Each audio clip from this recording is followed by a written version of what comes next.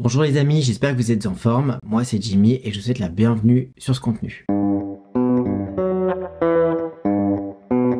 Dans la vidéo précédente, je t'ai fait une sélection de 10 produits hommes pour les budgets serrés en raison de l'inflation et de la rentrée.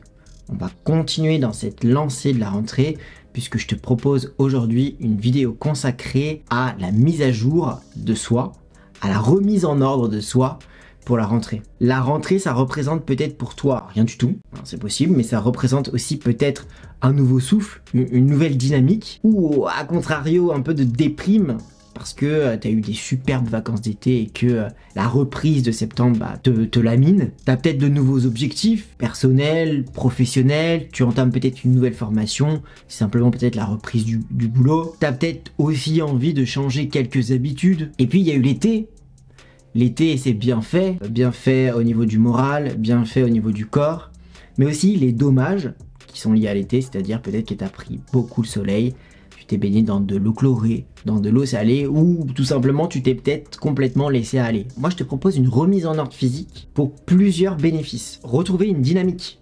Retrouver une dynamique, surtout si c'était un petit moment de plat après euh, les vacances d'été qui ont été peut-être extraordinaires pour toi, ça te permet de, relancer la machine, un nouveau démarrage. Et puis un peu comme le ménage, ça permet d'y voir plus clair sur soi pour avoir un esprit plus clair aussi. C'est me remettre de l'ordre physiquement pour avoir euh, de l'ordre mentalement. Et puis tout simplement, c'est aussi un temps pour soi que tu te prends avant la reprise. Comme si tu as, ton moment de transition où tu reprends des respirations, tu prends du temps pour toi, tu t'es ancré dans le moment présent et t'es prêt à attaquer la suite. Et puis ça peut être aussi ton amorce si tu as envie de mettre en place de nouvelles habitudes. Exemple, prendre soin un peu plus souvent de ta peau au quotidien. L'idée de, faire des, un gros chantier euh, physique, entre guillemets, ça te permet une amorce. Et euh, l'amorce, ensuite, elle, découle sur ben, le quotidien. Cette mise à jour physique, cette remise en ordre physique, elle peut te permettre d'entamer une rentrée euh, plus confiante ça te permet de te sentir un peu plus puissant, entre guillemets. L'image que tu as de toi va être positive et puis tu auras l'impression que les gens vont avoir une image de toi positive. Ou tout simplement, ça peut te permettre d'être, euh, d'entamer une rentrée plus serein. Donc, pour toutes ces raisons, je te propose 7 étapes, 7 bons gestes à, à réaliser euh, pour justement cette, cette mise à jour. Alors, ce sont mes propositions, bien évidemment, puisque tu es sur ma chaîne et tu regardes mes vidéos. Ensuite, c'est à toi de, voir euh, ce, qui, te convient le plus, ce que tu as envie de faire, ce que tu n'as pas envie de faire. Il y a à prendre et à laisser et puis à ajouter si tu as, envie. Donc dans cette vidéo, on va parler du corps et on va parler du visage. On va d'abord commencer par le visage, où là on va parler de trois étapes. Première étape, la taille de la barbe ou le rasage. Tu verras que chez moi, c'est ni barbe, ni tout à fait rasage. Deuxièmement, les sourcils. Remettre au propre les sourcils, leur donner un peu plus de structure, épiler quelques poils. Troisièmement, le coiffeur. Une belle coupe. Si tu fais des dégradés, un dégradé bien net. Et des cheveux soignés. Ensuite, sur le corps, dans le même esprit, bah, tes poils. La pilosité. après, tu fais ce que tu veux de ta pilosité, bien évidemment. Hein. Seul toi juge de l'appréciation de ta pilosité.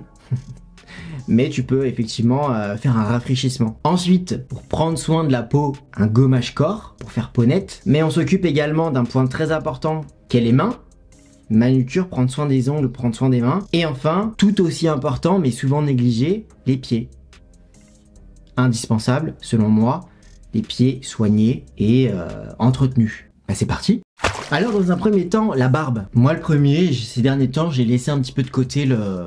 Voilà, la barbe, j'ai laissé pousser, alors que là, tu vois, je suis passé en mode moustache. Bah, j'ai pris le temps pour euh, rafraîchir le bas du visage en redessinant ma moustache et en rasant pas tout à fait euh, la barbe parce que je, rase à 2 ou 1,5 mm. Ceci dit, si toi t'aimes le, rasage de près, prends le temps euh, de te préparer ton matériel et de faire un beau rasage bien net et bien propre. Pour ma part, pour la taille de barbe, j'utilise la tondeuse One Blade de chez Philips. Ça fait des années que je l'utilise. Je la trouve géniale parce qu'on peut faire du rasage à blanc et puis il y a différents, il y a différentes tailles de tonte et donc ça me permet de, faire un, taillage de, moustache et d'avoir quelque chose de bien propre et bien net, bien structuré. Si ton délire c'est d'être un peu en mode sauvage, à la viking, avec une grosse barbe touffue, c'est ok. Ceci dit, ça peut être une barbe touffue et quand même un peu structurée. Ça te donnera toujours plus d'élégance et plus de prestance si t'as quelque chose d'un petit peu structuré, même si ça a un côté un peu euh, wild, tu vois, sauvage. Après, j'utilise pas que la One Blade euh, comme outil, comme accessoire, j'utilise également un rasoir visage, j'utilise une paire de ciseaux, j'utilise une brosse à barbe, juste pour brosser le poil, euh, tu vois ce que je laisse pour voir comment ça se comporte. Et surtout, j'utilise un miroir 360 degrés que j'avais acheté sur Amazon que je trouve extrêmement pratique puisque en fait il y a trois faces euh, à ce miroir dont les deux faces latérales peuvent être euh, rabattues et ça te permet d'avoir une vision 360 euh, de ton visage. Tu vois bien ce qu'il y a à faire, notamment au niveau de, de la mâchoire. Puis pour ceux qui se coupent les cheveux eux-mêmes, bah, le miroir peut tout à fait être utilisé. On arrive à bien voir l'arrière de la tête qui est la partie la plus euh, complexe quand on se coupe les cheveux seul. Bien évidemment, si tu as une barbe ou une moustache, euh, ça donne un style, hein, euh, tout simplement, à, ton visage. Donc c'est à toi de décider ce que tu souhaites comme style. En fait, il y a une période où j'ai eu la barbe. Là, je suis content d'avoir retiré la barbe. Déjà, au niveau des soins, du skincare, des produits cosmétiques, ça me permet d'avoir une bonne application partout. Parce que quand tu as une barbe touffue, bah, malheureusement, tu peux pas accéder à toutes les parties. Et puis ce que j'aime aussi, c'est qu'on voit euh, ma mâchoire. Ça fait partie des traits euh, masculins, donc euh, j'aime bien qu'on voilà, j'aime bien qu'on voit ma mâchoire. On passe maintenant aux sourcils. Les sourcils, bien évidemment, tu n'es pas obligé de les épiler. Hein. Je ne te dis pas qu'il faut que tu épiles tes sourcils, bien que un sourcil dont on retire quelques poils, intelligemment, ça permet de structurer un petit peu le, sourcil et d'appuyer le regard. Donc moi j'aime bien nettoyer l'intersourcil et puis j'enlève quelques poils sous le sourcil et également je nettoie avec un rasoir visage la partie supérieure. Je retire aussi quelques poils trop longs, soit je les coupe avec une paire de ciseaux, soit je les, euh, retire avec la pince à épiler. Pour cette partie, j'utilise plusieurs accessoires. J'utilise bien évidemment une pince à épiler, comme je disais, un rasoir visage, une paire de ciseaux et puis une brosse. Donc tu peux utiliser un coupillon ou euh, la brosse à barbe pour euh, bien voir comment le poil se comporte. Sur cette chaîne, tu trouveras deux vidéos assez complètes sur l'entretien des sourcils, une sur l'épilation sourcils avec euh, véritablement les la technique expliquée à la pince épilée de A à Z et une autre vidéo qui euh, est plutôt pour ceux qui veulent prendre soin, avoir des beaux sourcils mais sans enlever de poils. Et donc l'idée c'est d'avoir un sourcil qui est discipliné avec un poil qui est beau, entretenu. On passe maintenant à la partie coiffeur. Une belle coupe structurée, ça fait vraiment du bien au moral. Pour la confiance en soi, c'est vraiment important. Et si t'as un cheveu soigné, c'est encore mieux, sans dire d'en faire des caisses, mais si t'as un cheveu qui est soigné, c'est quand même mieux, encore une fois, ça t'apporte de la prestance et de l'élégance. Il fut une période où je, me coupais les cheveux seul, j'ai arrêté hein, ce massacre et je retourne chez le coiffeur, j'y vais euh, tous les 15 jours. Voilà, là j'étais bien content d'y retourner. Ça donne vraiment un dynamisme de se faire couper les cheveux. Moi je fais, je fais couper tous les 15 jours, mais si voilà, t'as as une coupe que tu laisses pousser un peu plus longtemps, c'est le bon moment pour euh, faire rafraîchir sa coupe. Ensuite, bon bah c'est de prendre un de tes cheveux, sans en faire euh, trop, comme je disais, des shampoings à intervalles réguliers deux, trois fois dans la semaine et éventuellement l'utilisation d'un après-shampoing ou euh, juste bien brosser, avoir une, tige bien gainée et un cheveu propre. Pour récapituler sur le visage, on a vu la mise à jour de la barbe, la mise à jour des sourcils, et euh, la mise à jour de la coupe de cheveux. Maintenant, si t'as pas trop l'habitude de prendre soin de ton visage, tu peux aussi effectuer un gommage et un masque. À ce propos, le gommage peut également s'effectuer sur le corps. Il euh, n'y a pas que le visage qui compte, même si c'est ça qu'on voit en premier. Le corps aussi, le fait de se sentir bien dans sa peau, on va juste soigner en quelques étapes le corps. Là, il te faut un, gommage adapté, c'est-à-dire un tube qui est spécifiquement fait pour le corps. Généralement, c'est des tubes de 150-200 ml avec des euh, grains qui sont relativement gros parce que la peau du corps est plus épaisse et moins fragile que celle du visage. Pour ma part, je vais pas très régulièrement des gommages corps. En revanche, c'est quelque chose que j'aime. J'aime la sensation d'après gommage parce que t'as fait peau nette, tu te sens requinqué de l'épiderme. Là, j'utilise un produit dont je ne suis pas totalement satisfait, mais bon, je vais le finir quand même. J'aime bien l'odeur, les grains sont relativement gros, mais je trouve qu'il n'y en a pas assez en quantité. Moi, j'aime bien quand ça gratte vraiment. Et puis, euh, un problème aussi, c'est qu'il a tendance à se boucher entre deux utilisations, donc je suis obligé de, déboucher pour euh, que le produit passe à nouveau. On parlera euh, tout à l'heure de la partie manucure, mais pense également à le faire sur les mains et sur les pieds. N'hésite pas également à insister sur certaines parties, comme les coudes et les genoux sont souvent euh, un peu plus rugueux. Bien évidemment, si tu souhaites garder ton bronzage le plus longtemps possible, je te déconseille de faire un gommage. Je te recommande de juste bien hydrater ta peau, bien la nourrir. Comme pour le visage, on va prendre soin de sa pilosité prendre soin ou non. Hein. On va peut-être un peu remettre en ordre, rafraîchir. C'est à toi de décider quelle partie du corps tu veux rafraîchir. Je ne ferai pas de, détails dans cette vidéo. Euh, à titre perso, j'aime bien rafraîchir un peu les aisselles et puis euh, les parties intimes. Bien évidemment, fais attention hein, si tu rafraîchis tes poils, quels outils et quels accessoires tu utilises, rasoir, euh, tondeuse, Après, tu peux aussi passer à la, aux bandes de cire ou la crème dépilatoire. Bah, c'est des choses que je n'utilise pas, mais lis bien la notice pour euh, ne pas finir brûlé.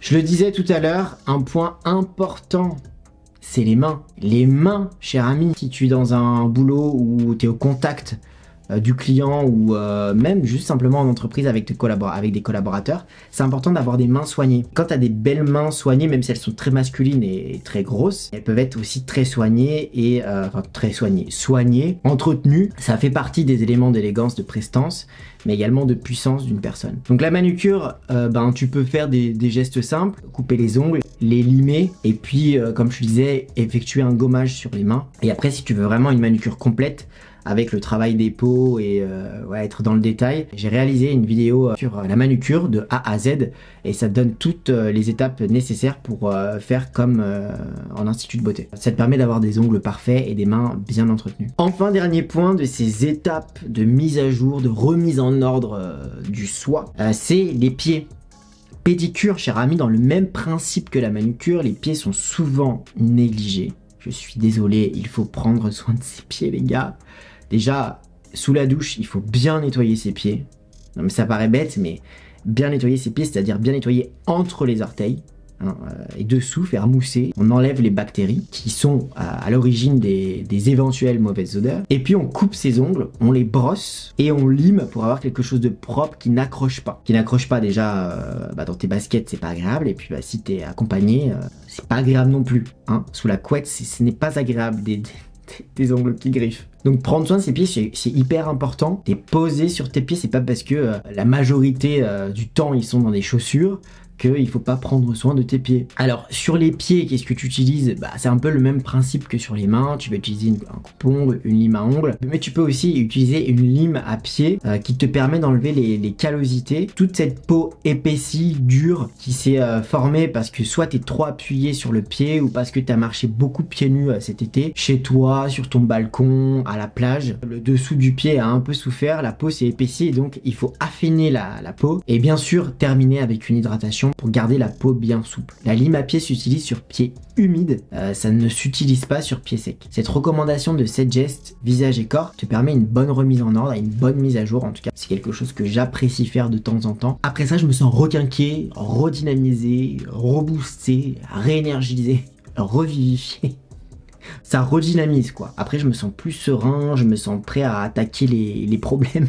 Bien évidemment, si tu as la flemme, ce que je peux comprendre, tu as tout à fait la possibilité de, faire faire. Pour toutes ces étapes, même le gommage corps, tu peux faire. Tu peux faire ça en institut de beauté, la manucure en institut, la pédicure chez un podologue, euh, les sourcils dans un atelier du sourcil ou un institut de beauté, la barbe chez le barbier, les poils au niveau du corps, si tu veux épiler, bah ça se fait aussi en institut de beauté. Tout ce que je t'ai énoncé, peut être fait chez un prestataire. Maintenant, ça demande euh, un rendez-vous euh, et deux, ça demande un budget. Si tu as la motivation, il y a quand même beaucoup de choses que tu peux faire toi-même. Et cette vidéo en est le parfait exemple. Voilà l'ami, cette vidéo va se terminer. Je serais curieux de savoir si euh, de ton côté, à la rentrée, tu aimes bien justement cette remise en ordre, cette mise à jour. Et si oui, j'aimerais bien savoir ce que tu fais. est-ce qu'il y a dans ce que j'ai énoncé, il y a des choses que tu réalises? Ou est-ce qu'il y a des choses que tu fais qui ne sont pas énoncées dans cette vidéo? Utilise l'espace commentaire pour noter tout ça. Je te remercie d'avoir regardé cette vidéo jusqu'au bout. Ici, c'est le QG des mecs qui prennent soin d'eux avec sérieux, mais sans se prendre au sérieux. Je te dis à la prochaine, en attendant, prends soin de toi. Salut